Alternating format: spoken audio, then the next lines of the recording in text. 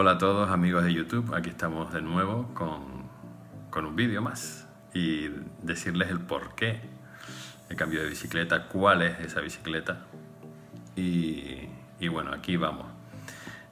En su día eh, tenía la, Orbea Ocam, la TRH50, la verdad es que muy buena bicicleta para, para lo que cuesta, una bicicleta espectacular para lo, para lo que cuesta y muy fiable, una bicicleta muy bonita además y creo que, que me sirvió, me sirvió muy bien para volver a retomar eh, el mountain bike en mi vida y, creo que es algo que, que, agradezco mucho.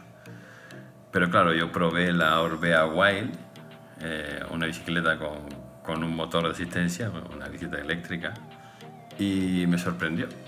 Hizo que cambiara el chip un poquito y yo no estoy aquí para, para, competir, ni para ponerme en forma, ni nada de eso. Eso viene después. O sea, realmente estoy para divertirme con la bicicleta y no, no para otra cosa. Siempre me he tomado el deporte como algo divertido y no como algo obligatorio. Y, me sorprendió mucho poder llegar mucho más lejos y, y hacer rutas desconocidas sin problemas a, a, quedarme muy abajo o muy arriba o muy adentro, porque tengo la asistencia y me puede sacar de ahí perfectamente. Decirles que la nueva bicicleta era una marca desconocida para mí, con una estética desconocida para mí, además totalmente fuera de, de lo que a mí me gusta en las bicicletas. Y, y bueno, eh, la marca High Bike no la conocía y se trata de una High Bike Full 7 eh, S Duro la 5.0 LT, una bicicleta bastante rara, yo no he visto ninguna más por aquí, no, no, normalmente sí veía Orbea Hokan por un tubo, pero este tipo de bicicleta no, no lo había visto nunca. Y la marca era totalmente desconocida, pero bueno, me dejé llevar y he invertido en esta marca a ver qué tal va. Tiene una horquilla Yari delantera de 150 milímetros, que en combinación con un amortiguador RockShox Deluxe eh, y una coma de 27,5 plus de 2,8 esto baja que se las pela, o sea, es impresionante, baja muchísimo más rápido con la Orbea Ocan, muchísimo más seguro que, que con la Orbea Ocan, la verdad. Eh, es mucho más suave, eh, no notas nada el terreno, parece que pasa por encima de los baches como si fuera una moto de motocross, o sea, es impresionante cómo baja. Después tiene discos de freno delantero de 203 milímetros y 180 detrás, delante de 203 y de 180 detrás y hay que tener cuidado con por cómo frena porque te puedes llevar algún susto, sobre todo con el delantero, porque frena muchísimo. Si vas en terreno suelto, por ejemplo, te puedes llevar algún susto. Tienes que dosificar bastante el freno delantero porque es bastante potente. Eh, las manetas son las eh, MT520 y muy bien, súper contento. Nunca había tenido una bicicleta de alta gama, por eso quizás estoy muy sorprendido. El motor es un Yamaha eh, PW ST de 250 vatios, pero tiene 70 Nm, o sea, tiene más par motor que mi Harley Davidson. es alucinante.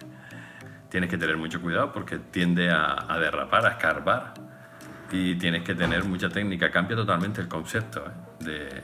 de, mountain bike y de técnica a la hora de llevar este tipo de bicicleta.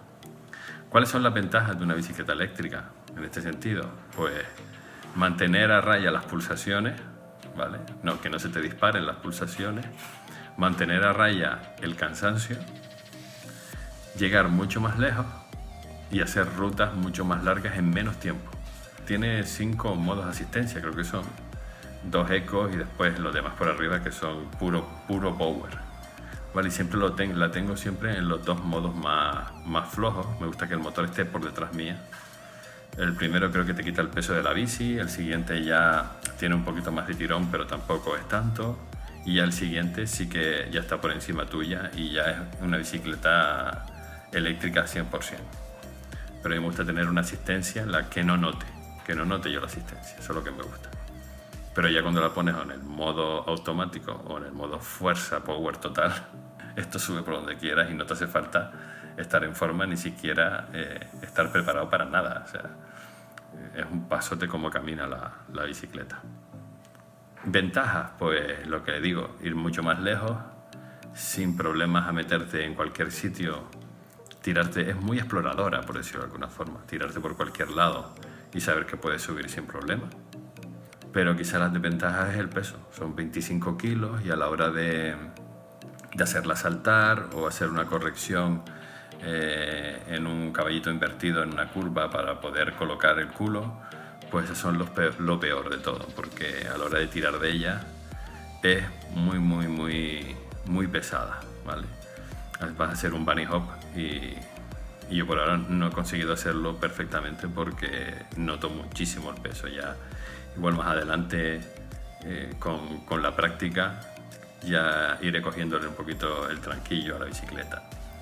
Le monté un manillar Burtec de 180 y una potencia full bajadora. Y ahí está. Eh, mi high bike ese duro Full 7 5.0 LT, una bicicleta muy rara para mí, no la había visto nunca. Y, y si necesitan saber algo más, pues en los comentarios yo se lo resuelvo sin problema. Suscríbanse al canal, denle un like si les interesa y si no, pues no pasa nada. Y la vida es mucho más divertida en bici. Muchas gracias por estar ahí y chao.